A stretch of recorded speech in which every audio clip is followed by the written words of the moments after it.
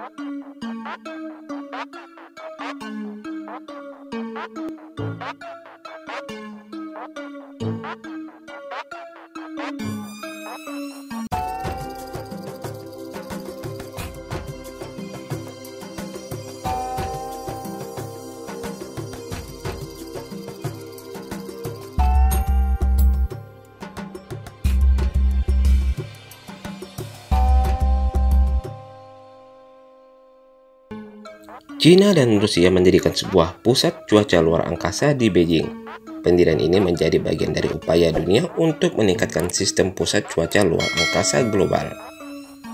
Seperti dilansir Reuters Rabu 17 November 2021, pusat cuaca luar angkasa bernama Konsorsium Cina-Rusia ini akan dioperasikan secara gabungan di Otoritas Meteorologi Cina, Otoritas Penerbangan Sipil Cina, dan Dinas Badarang Rusia untuk Hidrometeorologi dan Pemantauan Lingkungan.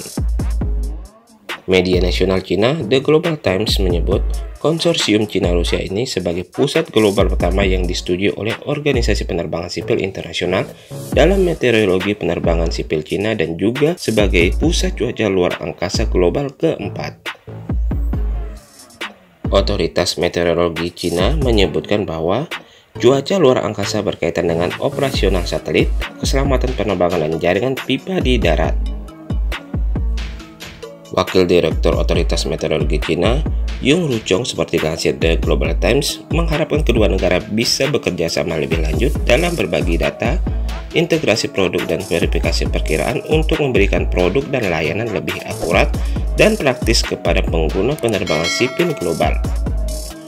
Otoritas Meteorologi Cina menambahkan bahwa pusat cuaca luar angkasa itu juga bertujuan untuk meningkatkan pengaruh internasional Cina dalam layanan penerbangan cuaca luar angkasa. Pusat cuaca luar angkasa ini diluncurkan saat Cina tengah mengembangkan program luar angkasanya setelah tahun ini meluncurkan misi berawak untuk membangun stasiun luar angkasa. Cina sendiri sebut otoritas meteorologi Cina telah membangun kerangka kerja awal untuk mekanisme operasional cuaca luar angkasa dan mampu memberikan perkiraan cuaca jangka pendek hingga jangka panjang.